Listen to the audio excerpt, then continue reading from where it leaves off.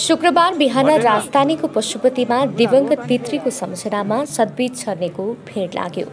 प्रत्येक वर्ष मार्गशीर्ष कृष्ण चतुर्दशीका दिन बिहान सद्बीज छरी बाला चतुर्दशी मनाउने गरिन्छ। त्रयोदशीका बिहिबार बेलुकीदेखि दिवंगत पितृको नाममा अखण्ड दीपदान गरी बसेका भक्तजनले आज पितृको सद्गतिको कामना गर्दै सद्बीज छर्ने गर्छन्।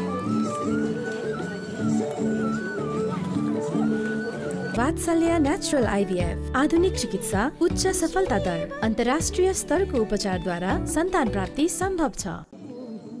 यस अवसरमा पशुपतिनाथ मन्दिर लगायत देशभरका शिव मन्दिरमा पनि भक्तजनको भिड लागेको छ। बाला चतुर्दशीको अघिल्लो रात बिहिबार दिवंगत पितृका नाममा दीपदान गर्न लाखौं भक्तजन आएर रातभर जागराम बसेका छन्।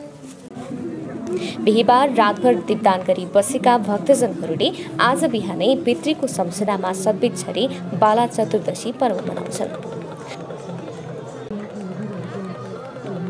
प्रत्येक वर्ष मार्गशीर्ष कृष्ण चतुर्दशीका दिन बाला चतुर्दशी पर्व मनाउन देशका विभिन्न स्थानबाट भक्तजन पशुपतिमा आउँछन्। यसरी आएका श्रद्धालु भक्तजनको बिहिबार बिहानैदेखि पशुपति क्षेत्रमा भिड लागेको छ। बत्ती बाल्न बस्ने ठाउँ रोक्न बिहानैदेखि देशका विभिन्न स्थानबाट आएका भक्तजनको पशुपतिमा भिड लागेको हो।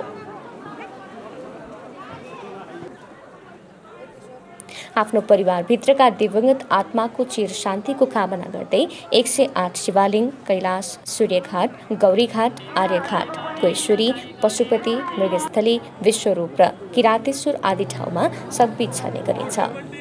बाला चतुर्दशीको पूर्व सन्ध्या मार्गशीर्ष कृष्ण त्रयोदशीका दिन राति भक्तजनले पशुपतिको मन्दिर परपर बसी दिवंगत आत्माको नाममा महादीप बाले भजन कीर्तन र लोक प्रस्तुत गरी रात बिताउँछन्।